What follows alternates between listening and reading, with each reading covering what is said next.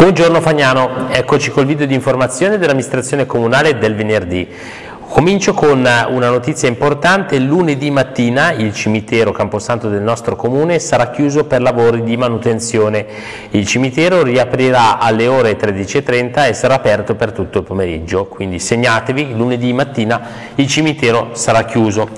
Do ora lettura di un comunicato che arriva dall'Ufficio dei Servizi Demografici riguardo il censimento.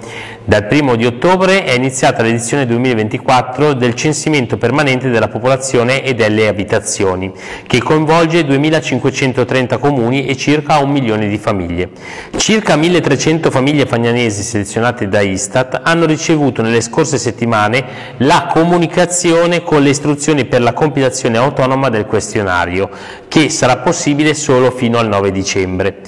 Inoltre, a partire dal 12 novembre, i rilevatori incaricati dal Comune passeranno al domicilio per tenere l'intervista faccia a faccia.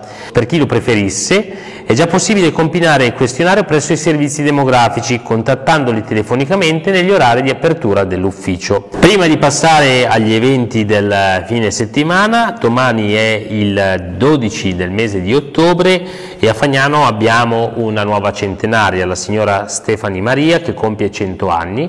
Porterò a lei pomeriggio gli auguri di tutto il comune, di tutta la comunità fagnanese per questo importante traguardo.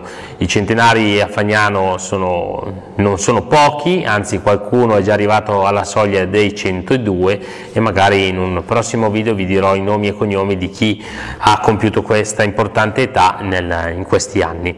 Passiamo ora agli eventi del fine settimana e sabato per la rassegna Un caffè con l'autore, la presentazione del libro di Gianluca Serioli.